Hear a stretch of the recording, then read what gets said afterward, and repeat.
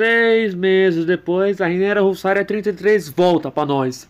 Se bem que na primeira caçada eu aproveitei um pouquinho. Se bem que eu fiz coisa ruim, mas eu não quero que vocês façam coisa ruim.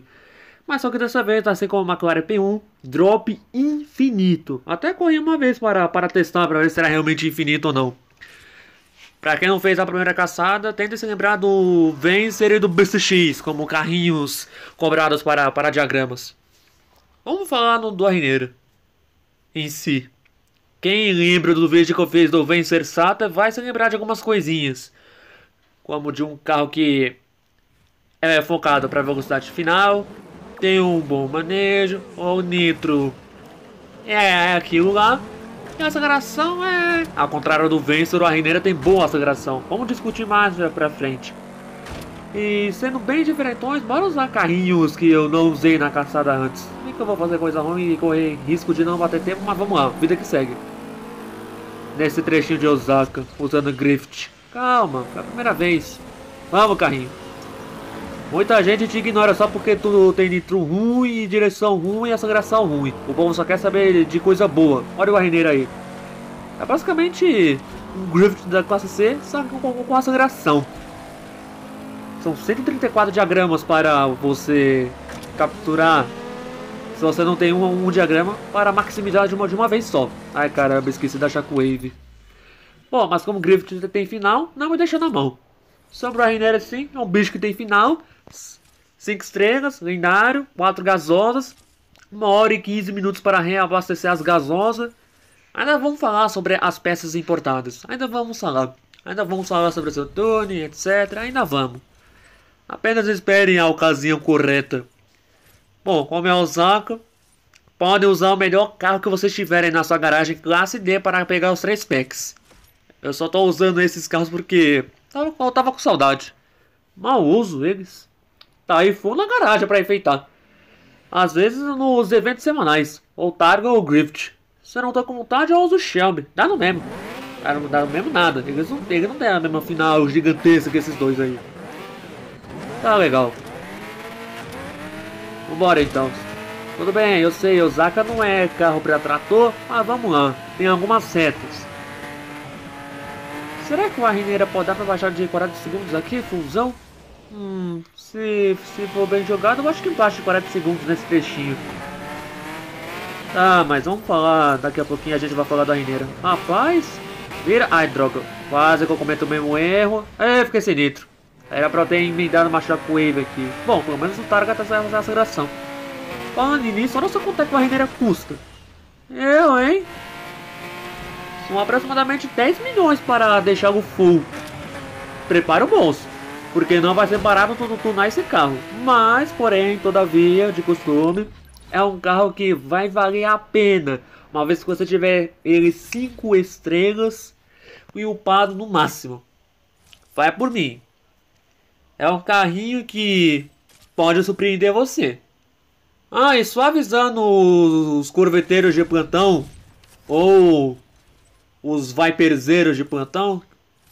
Ou pior ainda, os Pinifarinas de plantão aí. Os Maria Pinifarina que só querem saber de carro, desses carros aí. Eles veem assim, vê o Arrineiro, vê que tem uma direção lixo e o negro pior ainda. Aí eles pensam, hum, eu não vou usar esse carro porque ele não tem direção e não tem nitro. Como é que eu vou manter velocidade? Coitado dos usuários de Touch Drive. Como é que um usuário de DD vai usar o Arrineira? É muito simples, você não vai usar o Arrineira se for usar, você não vai conseguir um bom desempenho, a menos que você saia do, do TD e comece a treinar. Aí sim eu vi vantagem. Bom, ignore o fato de que eu escolhi o Volkswagen XL, pois é um carro que quase nenhum tá, tava pegando pó na minha garagem e resolvi usar. E também com essa cor dourada meio chunado de roda negra. Não fez bem pra saúde do carro. Ô oh, bosta. Tá, e o Arrineira? Ele é lendário classe C. Quanto será de épicas que. Quanto, quanto será de peças que ele pede? Duas épicas, quatro raras e nove comuns. Por ser lendário classe C. 9, 4, 2. Aposto que o GT3RS deve pedir essa mesma quantia de comuns e raras, com um pouquinho mais. No quesito épicas, o GT3 pede 4, eu acho, provavelmente. Ou 3, posso estar errado. Quem tiver esse carro aí, deixa nos comentários quantas épicas pede. pois os lendários classe C pedem duas épicas, quatro raras e nove comuns.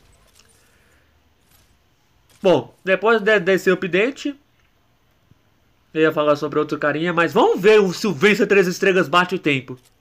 E vale lembrar que há meses, meses atrás teve caçada do Vencer. Hein, senhores? Quero ver só quem, quem é que foi que fez a caçada dele. E agora, um carro melhor aparece caçada e o Vencer é pedido nos diagramas. Bom, o Vencer é mais ágil e acelera menos que o Arneira. E tem um duração de nitro um pouquinho menos. Ah, e aí vem uma curiosidade. Achar que o Wave do GT3 RS dura mais do que o único toque de nitro simples desse carinha aqui, do Vencer. Ambos dourados. Uma análise. Ah, pelo menos o Vencer benga na final, eu acho. Deve, bengar sim. Se o GT3 RS dourado pega 353, 354... Acho que deve ser por aí. Sai daqui, Arrineira. Eu não quis arriscar. Agora vamos ver como a Arrineira é no desempenho. É basicamente o Vencer com um pouco mais de final, que acelera mais, tem mais nitro, eu acho. Só a direção que é um pouquinho inferior, coisa pouca, mas de resto, esses dois aí, Vencer e a Arrineira, são equivalentes. Se você já tem os dois fulls, beleza. Se você tem um Vencer pouco ocupado e não tem o Arneira, tá aí uma chance de você conseguir um carro King C. Ainda vamos falar disso.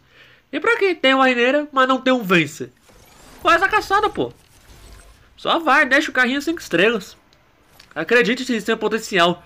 Como não existe limite de packs, só vai, tio. Só vai. E bora usar o BCX aqui. Pera aí, o BCX apareceu na caçada do Viper. Não, do Viper não.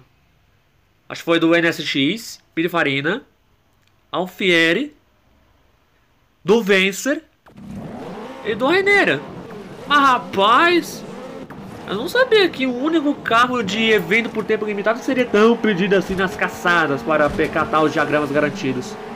Bom, se bem que o Pininfarina aparece uma vez na caçada do Alfieri. É verdade, eu lembro. Mas o Raineira é King sim algumas pistas, tem uma final monstra para pra classe C acelera bem, botar para quebrar os setões, mas porém, todavia, não é recomendado para usuário de TD, custa muito caro para tunar, vai sofrer em Osaka, Caribe, Nova York, etc, precisa comer das curvas, e é um carro que você precisa tunar no mínimo 3 estrelas para começar a ser interessante, ou 4 se você for mais exigente. Mas todo esforço é recompensado, tia, pois o Arrineiro é um carro muito delicioso de ser usado. Muita, pouca gente bota fé. Mas esse carro pode botar uma galera pra, pra mamar se você souber usá-lo muito bem. Mas tipo, muito bem mesmo. Treinando, os macetezinhos, etc. Tá, mas e o vídeo do Nitro? Quando é que sai? Não sei, meu. Tá bom, o vídeo vai acabar por aqui. Espero que vocês tenham compreendido. Qualquer dúvida, deixe nos, nos comentários. Um forte abraço aí e até a próxima com mais um vídeo, outra coisa e valeu!